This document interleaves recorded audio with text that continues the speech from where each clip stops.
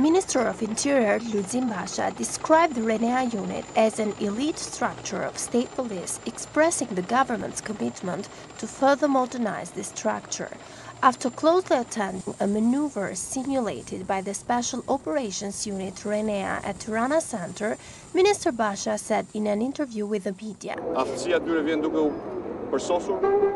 Ministry of Interior and Government will make every effort to provide moral, political, technical and financial support for state police. The achievements that led to visa removal for Albanians will be further consolidated with the police at the vanguard of European integration. Renea forces carried out on Saturday at Tirana Center a maneuver designed to simulate a bank robbery committed by a criminal gang of terrorist proportions.